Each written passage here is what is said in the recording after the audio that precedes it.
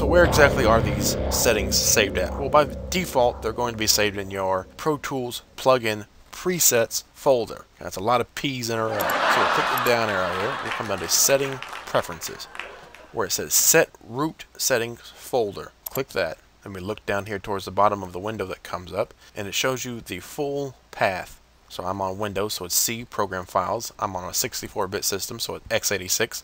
Common Files, DigiDesign, DAE, plugin settings, and then the folder will be whatever effect I'm saving. So if I'm saving a multi-chorus, it'll be called multi-chorus. If I'm saving like uh, Studio Reverb, it'll be called 11SR. That's another thing to look out for is sometimes some of the effects, when they're saved by default, they don't save with the name 11 beforehand. Like the multi-chorus, like I said, it saves by default, at least on my system, it's saved with just multi-chorus. Okay, but the 11 Studio Reverb, that's saved as 11SR. Okay, so, so you might need to do a little poking around to find the folder.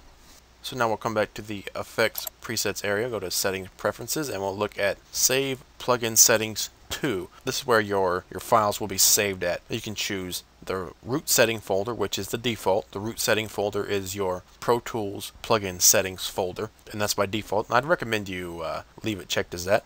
But you can also choose session folder. Now if you choose session folder and then you save a setting here, alright, so I'll just make some adjustments. Click this down arrow, choose save setting as, call it MC22, save it. Alright, now when we come over here and we click this down arrow, you'll see we have a new section called Sessions Settings folder. Okay, all these that you see right here, these are all saved in the root setting folder, which is C drive, program files, x86, common files, DigiDesign, DAE, plugin settings, multi-chorus. Okay, so that's the default area where you save them to. But that last setting I saved was to the session folder. So we'll check our session folder here. So here's our session folder.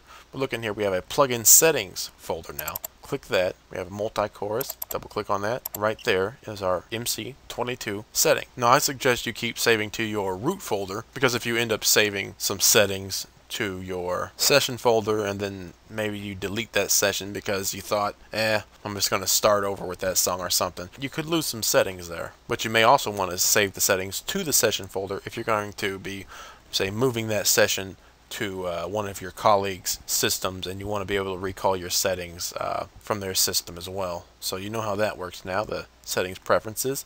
I'll set that back to root folder. And as I mentioned earlier, if you saved several uh, settings to your session folder, they'll show up in this highlighted area where it says Sessions Setting folder. Now if I were to open another session, then I wouldn't have the option to choose uh, this chorus, unless I would come to the Effects Presets area, click the down arrow, then choose Import Settings. You could do it like that as well.